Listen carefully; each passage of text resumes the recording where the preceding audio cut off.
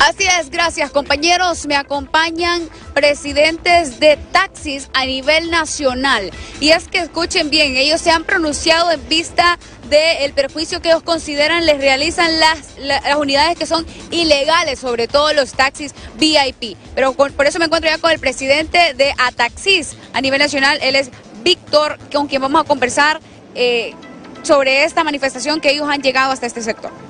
Muy buenas tardes, Nirvana, gracias por el espacio. Pues la verdad, mire que nosotros como asociación a nivel nacional estamos pues realmente preocupados. Venimos desde diciembre pidiéndole a los comisionados y pidiéndole al, a Inspectoría, al coronel Lobo, al coronel Reyes, eh, de que le aplicaran la ley, porque la ley salió publicada el 11 de octubre del 2019, donde la ley es clara y dice pues bajar los permisos de operaciones, las emisiones, va, porque estaba en eh, eh, eh, en, sí, había en mora, ellos ya, ya los están dando respuesta, estaban cobrando unos altos costos, logramos que los rebajaran, pero el problema más importante que los está agobiando, los está haciendo una competencia desleal son los taxis VIP.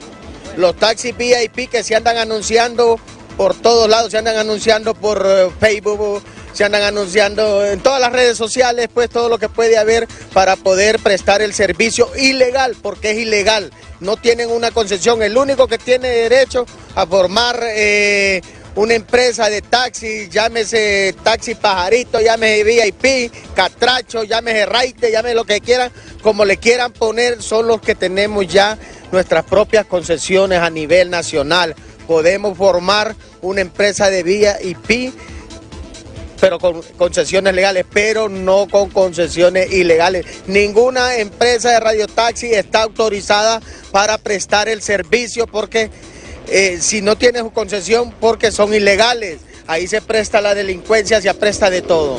Muchas gracias, pero aquí también hay otro de los presidentes. Usted es de Choluteca. ¿Cuál es su nombre? Mi nombre es Luciano Ortiz. Luciano Ortiz, ¿qué exactamente es lo que le piden ustedes a las autoridades del Instituto Hondureño de Transporte Terrestre? Mire, antemano este felicitarlo, ¿verdad? Porque estamos trabajando en conjunto con lo que es Ataxis a nivel nacional, ¿verdad? Y nosotros lo que le estamos exigiendo es que haga su trabajo, ¿verdad? Eh, decomisando las unidades VIP que nos está haciendo mucho daño, ¿verdad? Al sector taxi. Así es. Bueno, Muchas gracias a ustedes que han accedido para brindar esta entrevista ante HCH Televisión Digital cuando se han trasladado de diferentes partes del país. Y en un ejercicio rápido vamos a mencionar los lugares brevemente. ¿Desde dónde viene?